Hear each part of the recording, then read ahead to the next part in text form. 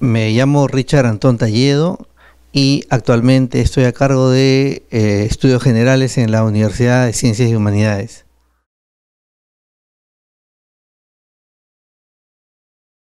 Surge en estos tiempos el término neuroeducación. O sea, es la aplicación de los conocimientos de las neurociencias aplicado al campo educativo.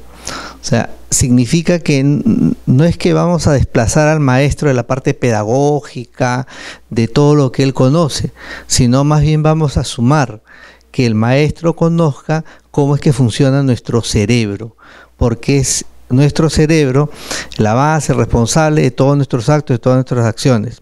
Ahora, no solamente vamos a ver el funcionamiento en un sentido cognitivo, fisiológico, sino también en el plano afectivo, en el plano motivacional, que muchas veces cuando se da una clase no se toma en cuenta. Es decir, va a ser una suma en, lugar de ser una resta.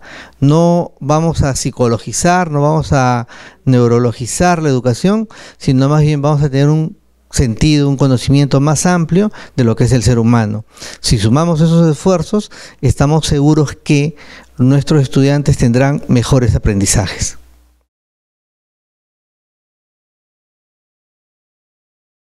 Mire, eh, por ejemplo, eh, todos los maestros hacen sus sesiones de aprendizaje. Cuando plantean sus sesiones de aprendizaje, plantean objetivos. Bueno, hoy capacidades o competencias.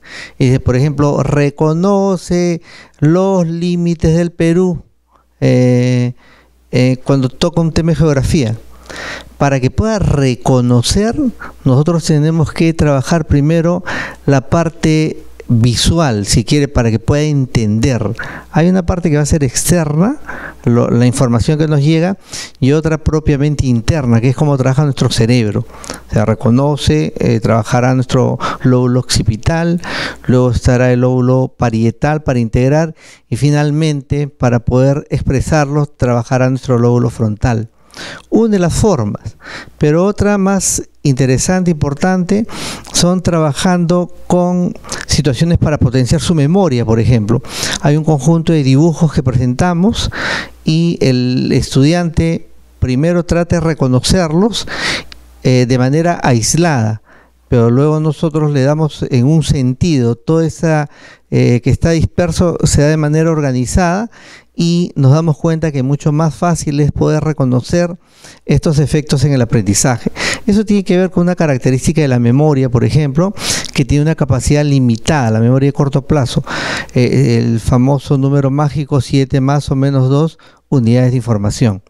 Eh, y así, ¿no? Podemos siempre se trabaja en matemática, por ejemplo, partiendo de lo concreto, eh, con el lenguaje primero coloquial, natural, luego avanzamos al, lenguaje matemático para finalmente llegar a lo abstracto. O sea, se tiene que entender eh, las formas en que está funcionando nuestro cerebro.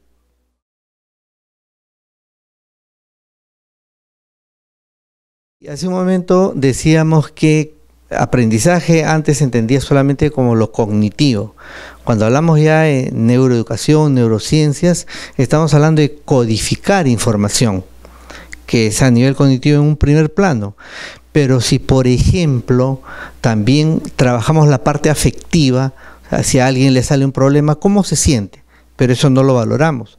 O le ponemos retos también al estudiante, la parte motivacional, la parte conativa. Si le, si le ponemos que tiene que trabajar sus esfuerzos y al final lo logra, evidentemente que en el aula de clase se va a generar otra dinámica, tanto para los estudiantes como para el maestro que se encarga de ella.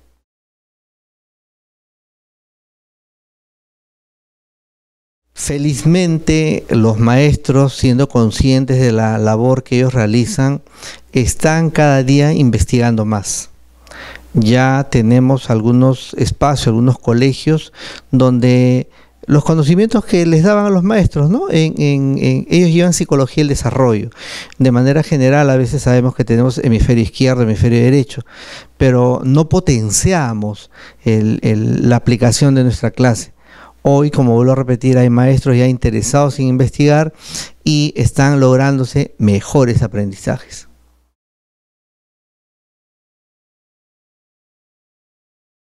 un aspecto importante en la docencia es la permanente capacitación. Y bueno, están asistiendo los docentes a cursos sobre neuroeducación, sobre neuropedagogía, sobre neurodidáctica, que vuelvo a repetir es la es el conocimiento de las neurociencias aplicadas a la educación. Nosotros también estamos aquí en la Universidad de Ciencias y Humanidades dentro de la nueva malla curricular cursos que tienen que ver con neuroeducación. O sea, ya estamos formando y potenciando a los maestros con un nuevo perfil. Bueno, y también hay cursos libres, ¿no? Donde se puede acceder a aquello.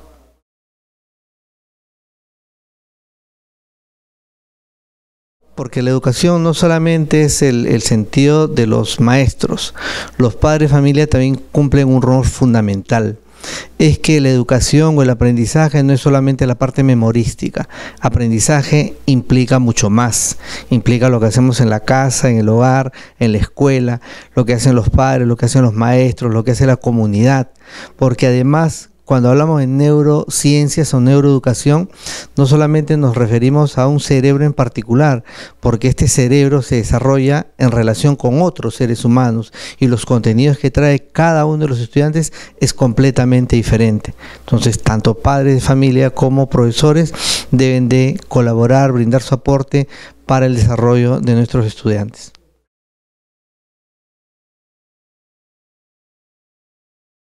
En primer lugar, eh, la pedagogía como ciencia de la educación siempre está, ha estado en continuo desarrollo. O sea, no vamos a negar tampoco ni vamos a decir que estamos descubriendo algo novedoso en la pedagogía. La pedagogía cumple su papel.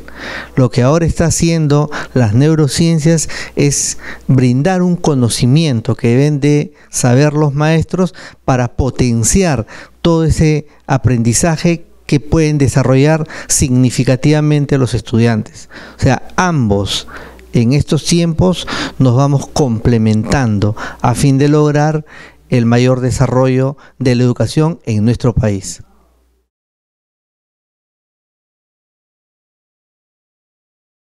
Por supuesto, por supuesto, porque si antes solamente se privilegiaba el memorismo y si, por ejemplo, alguien no rendía bien en el aula, era de repente eh, dejado de lado.